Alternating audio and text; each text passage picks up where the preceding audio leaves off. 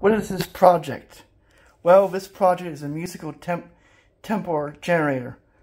What happens is you have current going through negative to the capacitor and the diodes, and it charges up, and and the, and the diode creates a very very quick pulse as it creates as it creates DC current flowing through it, and and it goes through the here the um, 728 capacitor 728 op amp, and it goes through through to the 0.05 microfarad capacitor charges and it uses the two of them.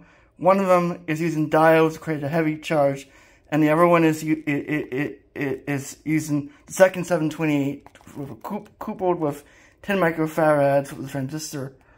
Um, yeah, NPN to create a, a, feedback loop which creates a, a, an intermittent sound.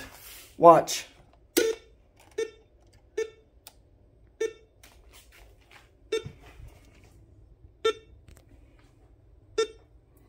Too low frequency for my oscilloscope to pick up, so I might have to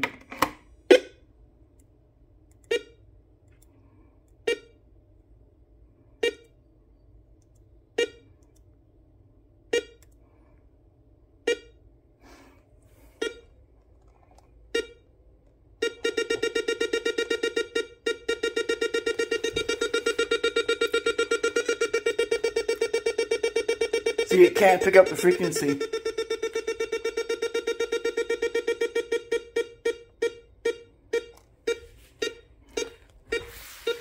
Again, these diodes says the diodes to generate a short pulse using the control of the speed.